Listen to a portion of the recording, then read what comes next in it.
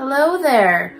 Here at Party Package To Go, I rely on my Cricut Maker to do most, if not all, of my design work and printing that goes into the packages. And so I've had some questions about any possible tutorials that I could do that might be helpful for any of you out there that own a Cricut making device that utilizes Cricut Design Space. So today I thought I would run through um, a quick video on how I make envelopes for my cards.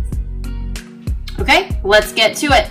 So squares plus hexagons equal envelopes. Got a couple notes down there at the bottom, which we'll go over um, as they become relevant. So say you are building a card. So we are just gonna grab a square over here to be our card for the moment.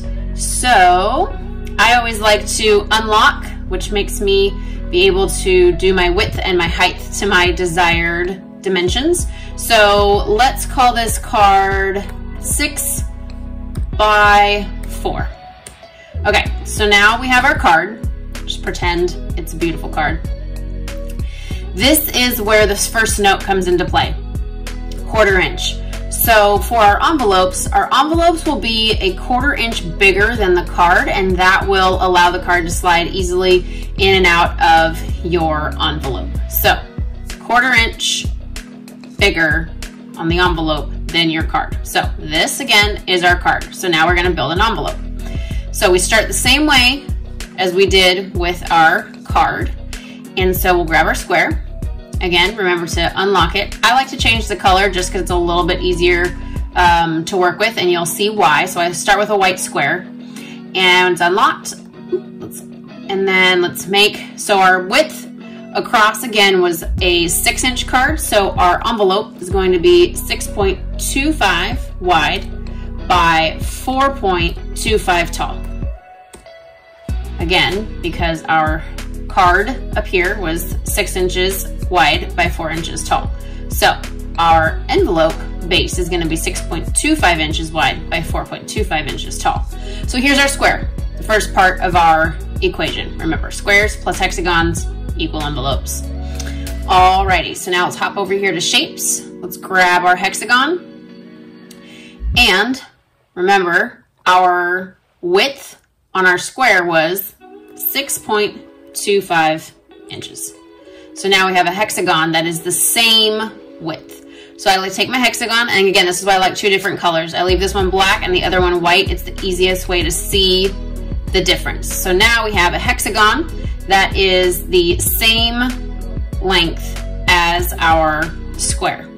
We're gonna go ahead and duplicate that bad boy, slide it down, line it up as best we can, click off of it to see. Hmm. Scooch it over just a smidge.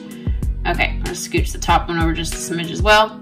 All right, so that looks good to me, looks lined up. So now we will select, you can do it either on the screen or over here on the right-hand panel. So let's grab our, our square and I'm on a Mac, so shift will let me select multiple on the right-hand panel. So we've grabbed both of our hexagons and our square. So now it's all connected. Now we don't, we don't necessarily even need to group it. Let's just hop down here to the weld tool. We hit weld. And now we have one shape. That's the base for the first part of our envelope. So we're gonna go over here. We're gonna grab another hexagon. This time, we are gonna rotate this bad boy 90 degrees. It's gonna do a little flip flop. And now we're still working with width, which actually is our height. So 4.25 inches rock on. Then we're gonna drag it over here to the side. So now we're gonna set that there, click off of it. We're gonna scosh it just a little bit more. All right, cool. Duplicate it like we did last time. Move it over here to the right side. Click off of it. Oh, gotta adjust it just a smidge. Okay, looks good. Same thing. Right hand side panel, grab your first hexagon, grab your second one, grab your weld result. And we're gonna go down here again, weld. Boom. Now we have the makings of what looks like an envelope. Last thing we have to remember to do is add our score lines in to make it easier for you to fold the pieces, the flaps, I should say, over um, once it's been cut. So back to shapes. Let's grab this score line.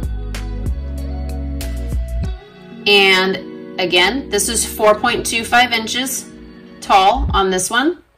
So 4.25. All right, and we're gonna drag this guy to the corners. Here, right click, duplicate. Slide it on over to the right side. Now we've got two score lines. Hop back over here to shapes. Grab another score line. Rotate 90 degrees. And this length up here that we want is 6.25 inches.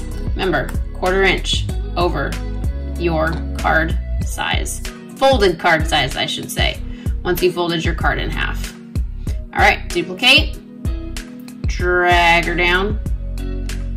Beautiful. Now, over here, again, we're gonna grab our score lines. One, two, three, four. This time group these up here.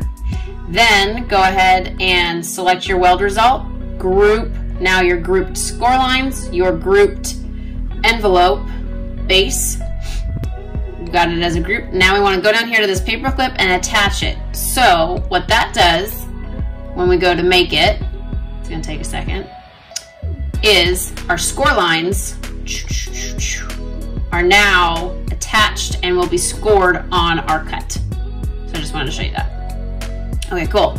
So you see squares plus hexagons plus the little score lines will equal your envelope. So Again, first note, your folded card size, whatever it is, you want your envelope base, which is the center that you started with, to be a quarter inch larger each direction. And I promise you it will slide in and out of the envelope, no problem. Second note, paper wrong side up on cutting mat. So say this was a piece of card stock that you're cutting. One side has a patterned print on it and the other side is blank. You actually want the white side up when you put it on your cutting mat. So when the score lines go in and you peel your, your page off of your cutting mat, you uh, the paper naturally wants to fold into itself on the white side, leaving um, a cleaner look and easier fold for you um, on the printed side.